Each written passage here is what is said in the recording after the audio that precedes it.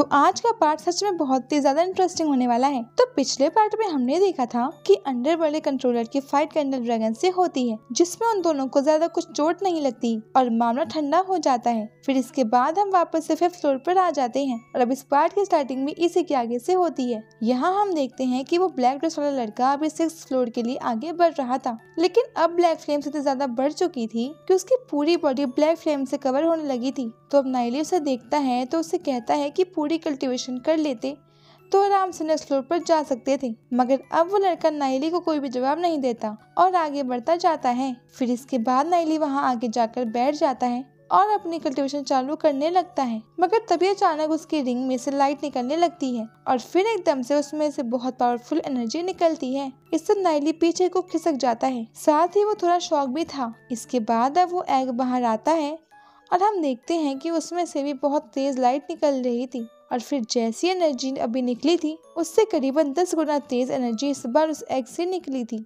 और इस कारण नाइली पिछली बार से और ज़्यादा पीछे फीट जाता है। साथ ही वहाँ पर गॉडेस युयान भी थी तो अब नाइली उनसे कहता है कि इस एग में से ना जाने कैसी खतरनाक एनर्जी निकल रही है। पर अब गॉडेस युयान को भी इस बारे में कुछ नहीं पता था। इसीलिए अब नाइली डिसाइड करता है कि वो इस एग को डिस्ट्रॉय कर देगा। साथ ही वो कहता है कि मुझे लग रहा है कि इसमें कोई खतरनाक बीस्ट है और अगर सच में उसके पास ऐसी पावर है तो हमारे लिए वो बहुत बड़ा खतरा साबित हो सकता है। इसके बाद अब नाइली अपनी स्वॉर्ड निकाल रहा था, लेकिन फिर वो अपनी एनर्जी का यूज़ करता है, जिससे वो दूर से ही उस एग को डिस्ट्रॉय कर सके। लेकिन अब जब उसने वो फॉर्मेशन बनाकर उस एग पर यूज़ किया तो अचानक उसकी वो एनर्जी अपने आप ही कम नहीं करती क्योंकि अब इसके लिए बहुत देर हो चुकी है।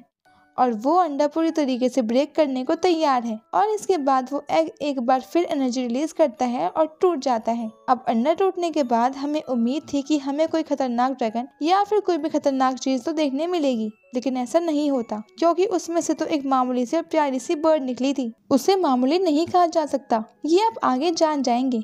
वैसे ये बर्ड साइज़ में भी कुछ बड़ी नहीं थी। इसके बाद ये बर्ड सीधे ही नाइली की तरफ़ देखती है और तुरंत उसके पास जाकर उसके पैर से चिपक जाती है। वैसे सच में ये देखने में बहुत ज़्यादा क्यूट लग रही है।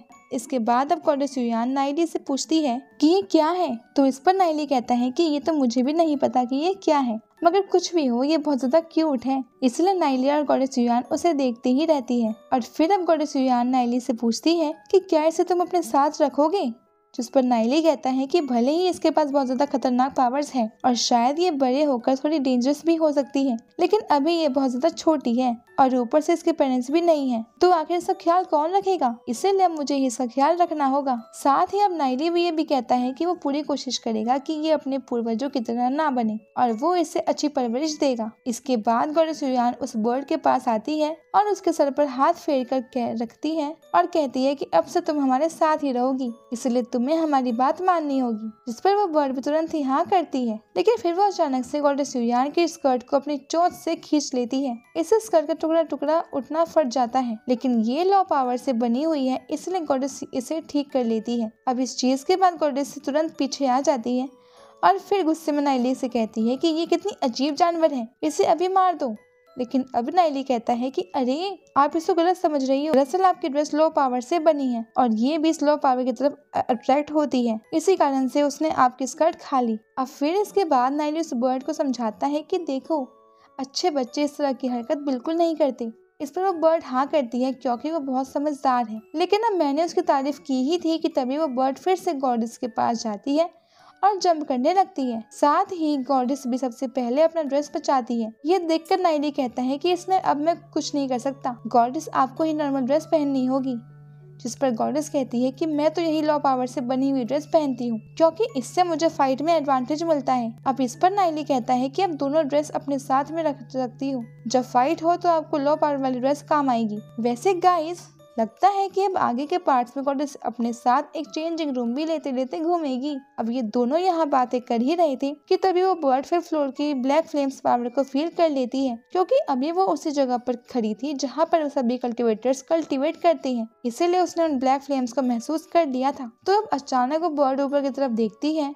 उसे वहाँ उस ब्लैक फ्लेम्स के पावर का पता चलता है क्योंकि वो उस पावर का सेंटर पॉइंट था तो अब वो बर्ड उसके तरफ़ जाने का ट्राई करती है लेकिन अभी उसके पंख नहीं आए थे इसी कारण से वो उड़ नहीं पा रही थी। अब फिर वो कोशिश करती है और थोड़ी हवा में आ, आती है और साथ ही अपनी पूरी पावर लगा लेती है। और हम ब्लैक फ्लेम्स को ऑब्ज़र्व करने के लिए जिसके बाद हम देखते हैं कि वो सारी ब्लैक फ्लेम्स एक जगह पर आने लगी थी। साथ ही हम धीरे धीरे करके वो बर्ड उन सभी को खा लेती है। इससे अब वो गोल मटोल हो गई थी मगर फिर भी वो अभी बहुत ज़्यादा क्यूट लग रही थी। लेकिन शौक होने की बात यह है कि मामूली से दिखने वाली बर्ड ने अभी अभी उस पूरे फ्लोर की ब्लैक फ्लेम्स खा ली है। तो अब ये देखकर नाइली और गॉडेस सुन बहुत ज़्यादा शौक होते हैं, जो कि उन्हें होना ही था। साथ ही अब बर्ड अब इतनी गोलमटोल हो गई थी कि उससे चलते भी नहीं बन रहा था। तो वो लुढ़कते हुए नाइली के पास आती है। और अभी नाइली कह रहा था कि सच में ये बहुत खतरनाक है और मुझे तो समझ ही नहीं आ रहा कि फ्यूचर में हम इसके साथ कैसे डील करेंगे। मगर अब वो बर्ड नाइली के पाओ के पास आ चुकी थी और वो इतनी क्यूट लग रही थी कि नाइली उसे देखकर कहता है कि कोई बात नहीं, जो होगा देखा जाएगा। और अब इसके बाद हम आ जाते हैं अंडरवर्ल्ड कंट्रोलर और बाकी सभी मास्टर्स के पास, जो कि वो स्कैंडल ड्रैगन